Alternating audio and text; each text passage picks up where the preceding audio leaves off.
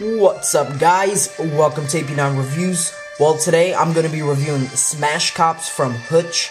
It's a universal app and it'll cost you $2.99. And this is a game where you try to arrest criminals and complete a bunch of other tasks. It comes with 22 levels to play through and each of the levels vary with the tasks that needs to be completed. Some have you chasing a criminal to arrest him and some have you collecting evidence. And over here in the main menu, you got your Game Center leaderboards and achievements. You can follow them on Twitter and Facebook. Then you can hit here to unlock everything through an in-app purchase. And over here, it tells you how many stars you currently have. And over here is your rank. Right now, it says I'm a rookie. And you got Super Cop. Super Cop allows you to take more damage and go faster. You can use that. And you can earn a free Super Cop for completing challenge levels, but other than that, you can just buy it through an in-app purchase. And over here, you have your garage. It shows your current car, highlight it, and you can change them, and you can unlock more cars by collecting more stars. Then you got your options. You can change how the controls work, the display, the audio. There goes credits. So let me show you level 3 where it says pursue and arrest the sedan.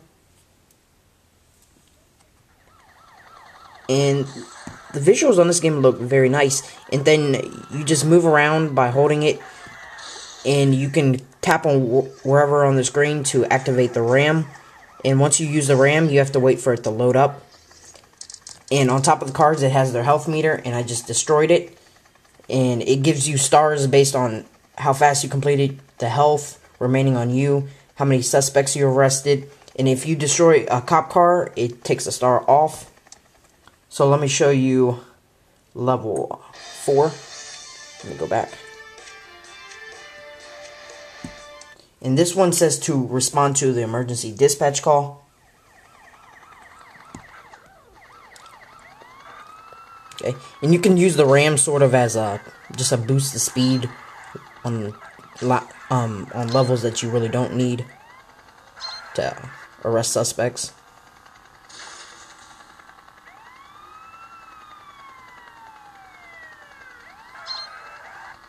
And this is a very, very fun game. I can see why Apple picked it as the game of the week. And I've actually had it for the past week or so. It was released last week, but they had issues, so they took it off the App Store. And I actually completed the entire game and almost got all the stars, but I had to restore my iPad and I lost everything. But yeah, and I just finished the level and I got five stars.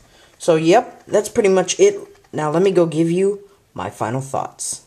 Alright, so the good thing about this game is that it's very fun and it has a lot of replay value that'll have you wanting to go back and 5 star everything. So that's good. The only thing I don't like about this game is that the screen on the iPad does not adjust.